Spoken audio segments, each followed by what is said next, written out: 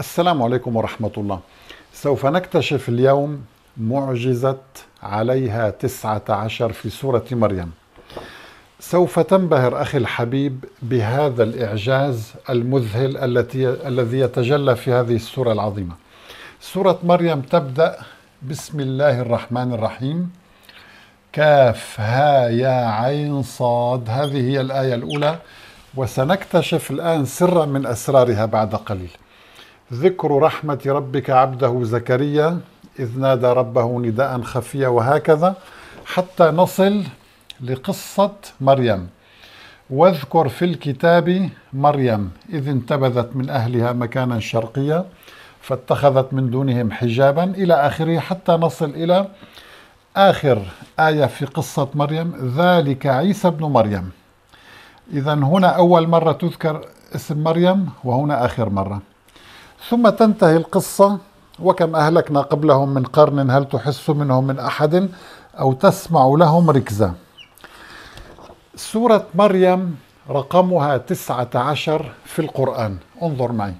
رقم سورة مريم كم؟ رقم سورة مريم في القرآن هو تسعة عشر. احفظ هذا الرقم جيدا لأننا سنكتشف معجزة تقوم على العدد 19 بطريقة مذهلة. أول شيء أخي الحبيب كم عدد آيات قصة مريم؟ من عند واذكر في الكتاب مريم إلى ذلك عيسى بن مريم. كم آية؟ لو قمنا بعدها سنجد تسعة عشر آية. سبحان الله. من واذكر في الكتاب مريم إلى ذلك عيسى بن مريم. 19 آية.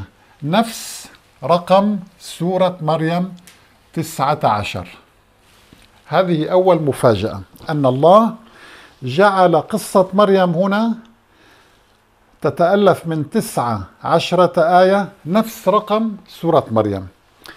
الشيء الأكثر إعجازا هو في عدد كلمات سورة مريم. انظر معي. هذه كاف ها يا عين صاد هذه ليست كلمة لأن ليس لها اشتقاقات وليس لها جذر لغوي وغير موجودة في المعاجم. إذا لا نعدها نعدها كحروف هذه حروف نورانية أو حروف مقطعة. نبدأ العد من هنا. ذكر رحمة ربك عبده زكريا إذ نادى ربه نداء خفيا وهكذا نتابع. نعدها كلمة كلمة والواو نعدها كلمة حتى نصل إلى آخر كلمة هنا. سيكون رقمها ألف وثلاثة وثمانين. من أحب أن يتأكد برنامج إحصاء القرآن موجود على موقعنا. انظر أخي الحبيب. عدد كلمات هذه السورة المباركة 1083 كلمة. كم يساوي هذا الرقم؟ انظر معي الإعجاز المبهر. ألف وثمانين ثلاثة وثمانين يساوي انظر تسعة عشر ضرب تسعة عشر ضرب ثلاثة. إذا عدد كلمات قصة مريم هو تسعة عشر مضروب في تسعة عشر مضروب في ثلاثة. كيف جاء هذا العدد؟ إنه معجز بكل معنى الكلمة. التسعة عشر الأولى هي رقم سورة مريم. تمام؟ والتسعة عشر الثانية هي عدد آيات قصة مريم. 19 هنا هنا 19 والثلاثة ما هو الثلاثة؟ هو عدد مرات ذكر مريم في سورة مريم. ذكرت ثلاث مرات. المرة الأولى هنا رقم واحد. والمرة الثانية هنا في قوله تعالى إذا عدد كلمات سورة مريم هو 19 في 19 في ثلاثة لأن اسم مريم ورد ثلاث مرات المرة الأولى هنا والمرة الثانية هنا عندما قالوا يا مريم لقد جئت شيئا فريا طبعا نستخدم الرسم العثماني هنا. وهذه المرة هاي اثنين وهذه المرة الثالثة. فإذا الله عندما أنزل سورة مريم انتبه معي أخي الحبيب جعل رقمها 19 والقصة تتألف من 19 داخل هذه السورة المباركة وعدد كلمات سورة مريم هنا عدد كلمات سورة مريم هو 19 في 19 في ثلاثة. سبحان الله. الآن الشيء الأكثر إذهالا فعلا بما أن هذه السورة اسمها سورة مريم واسم مريم يتألف من أربع حروف. ميم راء ياء ميم. طيب كل حرف كم تكرر؟ انظر معي أخي الحبيب. حرف الميم سنكتب هنا. ميم راء ياء ميم. انظر معي. لو درسنا حرف الميم كم مرة تكرر في سورة مريم؟ يعني مثلا ذكر طبعا هنا في في القرآن مكتوبة هكذا ذكر رحمته بالتاء. هذا الحرف الميم رقم واحد. زكريا. نعد الميمات فقط هذا واحد أيضا. مكانا نعده. هنا مريم اثنين. يمترون نعده. نعد كل حروف الميم في السورة فنجد 287 ميم. 287 ميم. إذا عدد حروف الميم في السورة لو عددناها حتى يدويا حرفا حرفا سنجد 287 ميم. طيب كم راء لدينا؟ نعد الراء هنا ذكر واحد. رحمتي الراء اثنين. ربك ثلاثة. عبده زكريا أربعة.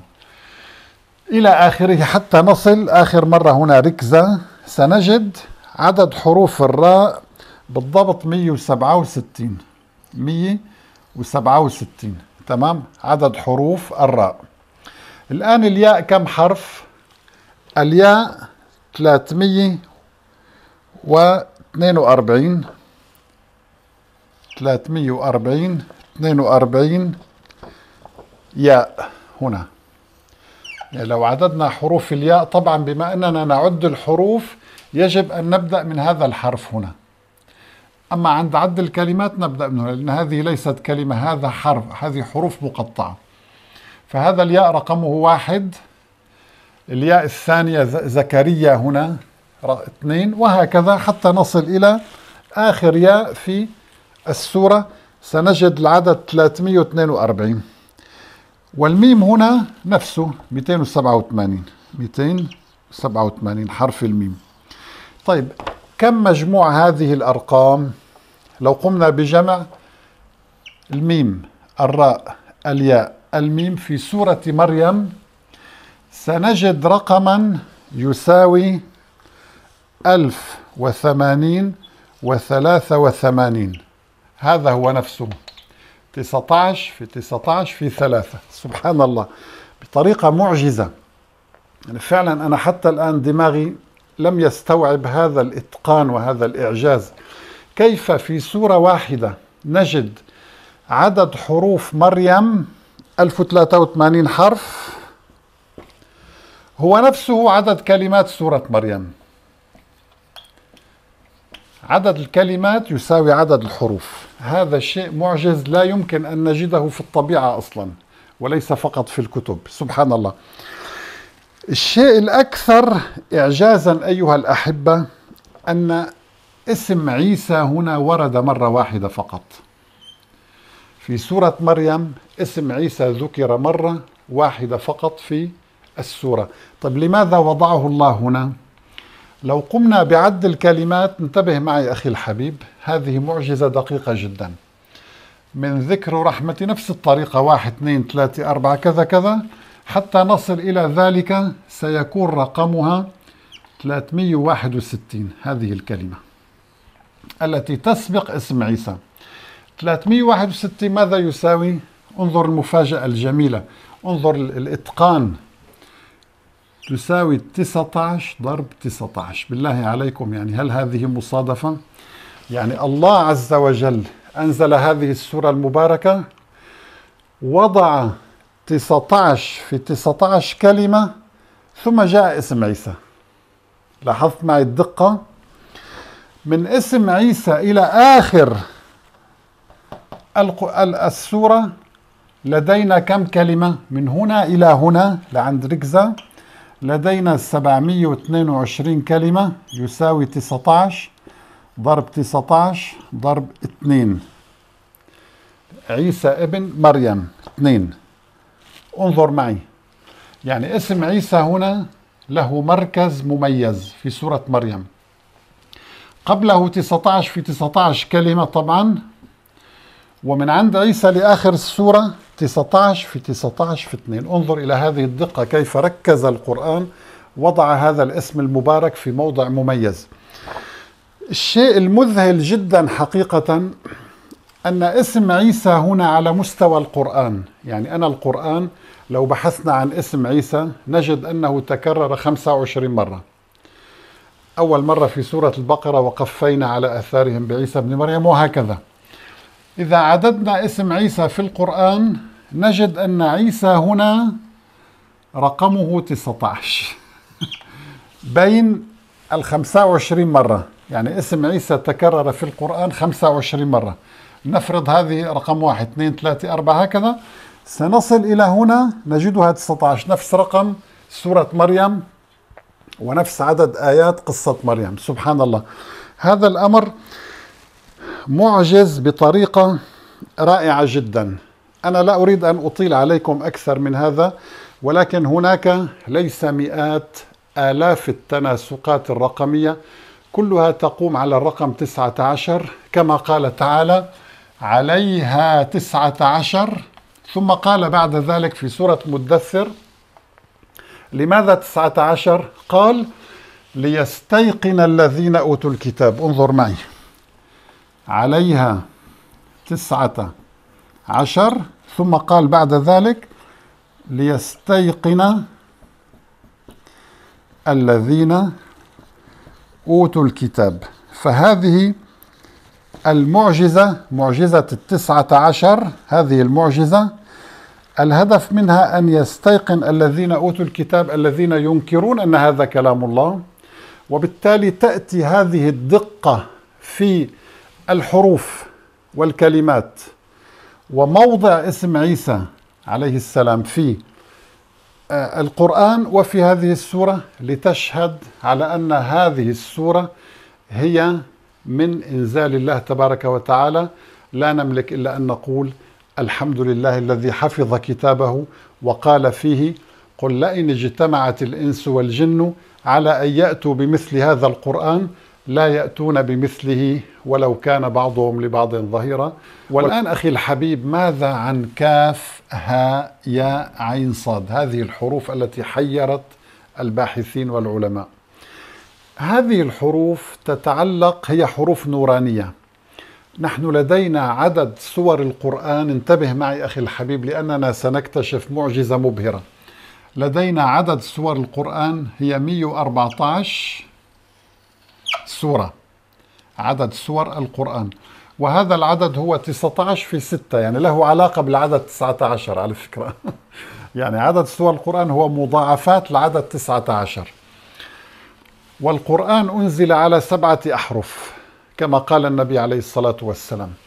وهذا هو الرقم سبعة. انظر معي الآن إلى هذه المعجزة اللطيفة. لو قمنا بعد حروف الكاف والهاء والياء والعين والصاد سنجد ما يلي. انظر معي أخي الحبيب.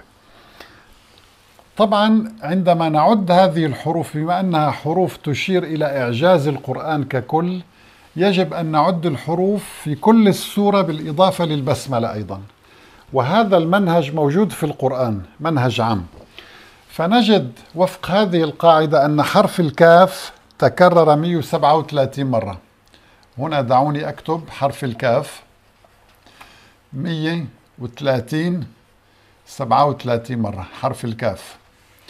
وحرف الهاء 175 زائد 175 زائد حرف الياء تكرر 343 طبعا لماذا 343 لأننا عددنا ياء هنا ياء الرحيم. لأن هذه الحروف تتعلق بالقرآن كاملا فينبغي أن نعد الحروف كاملة.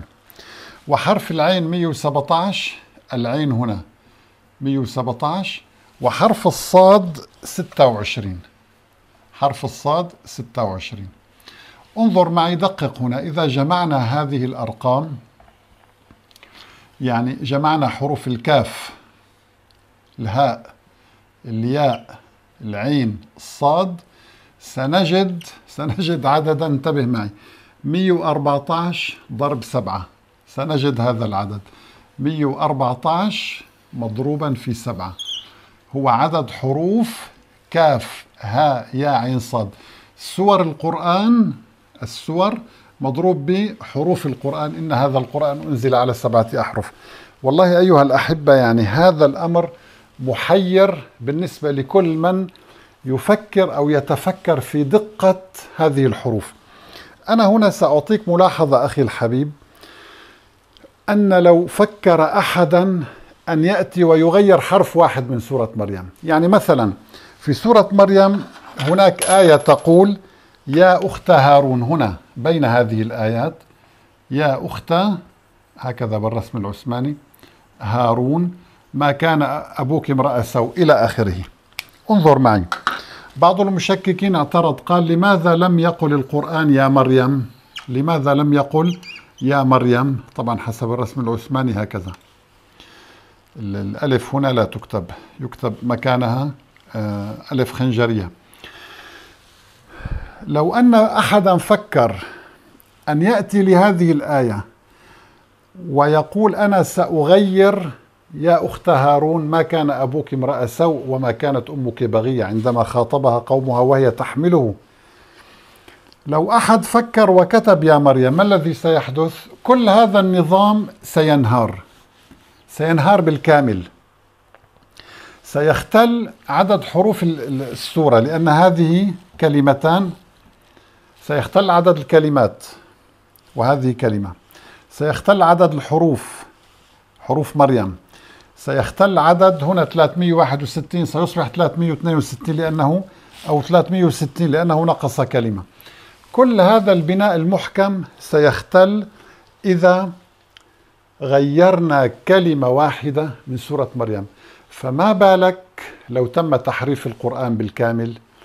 كم من الأنظمة الرقمية هذه ستختفي؟ لذلك مثل هذا النظام يشهد على دقة كلمات الله الذي قال انظر معي بعد هذا المقطع لابد أنك بدأت تتذوق معي معنى قوله تعالى كتاب أحكمت آياته ثم فصلت من لدن حكيم خبير. نسأل الله عز وجل أن ينفعنا وإياكم بهذا العلم والسلام عليكم ورحمة الله وبركاته.